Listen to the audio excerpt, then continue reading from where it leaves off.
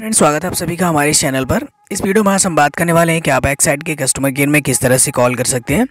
दोस्तों, अगर आप एक्साइड का बैटरी या फिर आप कोई अदर प्रोडक्ट यूज़ करते हैं और आपको उसमें कोई प्रॉब्लम आ रही है तो आप उनके कस्टमर केयर में किस तरह से बात कर सकते हैं, इस वीडियो में मैं आपको कंप्लीट प्रोसेस बताऊँगा।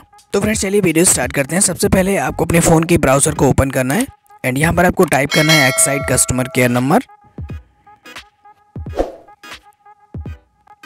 so friends यहाँ पर आपके सामने कुछ इस तरह का इंटरफेस आएगा। यहाँ पर आपको स्क्रॉल डाउन करना और इनकी ऑफिशियल वेबसाइट आपको देखने के लिए मिलती है। इस पर आपको क्लिक करना है। दोस्तों, आप देख सकते हैं मैं इनकी ऑफिशियल वेबसाइट पर आ गया हूँ। यहाँ पर आपको स्क्रॉल डाउन करके सबसे नीचे आ जाना है। स्क्रॉल डाउन करने के बाद यहाँ पर एक नंबर आपको देखने के लिए मिलता है, जिस पर आप कॉल करके जानकारी ले सकते हैं।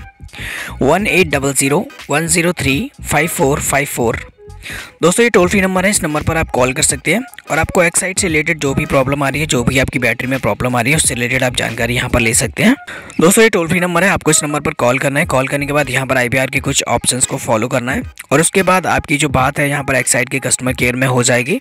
तो फ्रेंड्स इस तरह से आप एक्साइड के कस्टमर केयर में कॉल कर सकते हैं। आई होप आपको ये वीडियो पसंद आया होगा।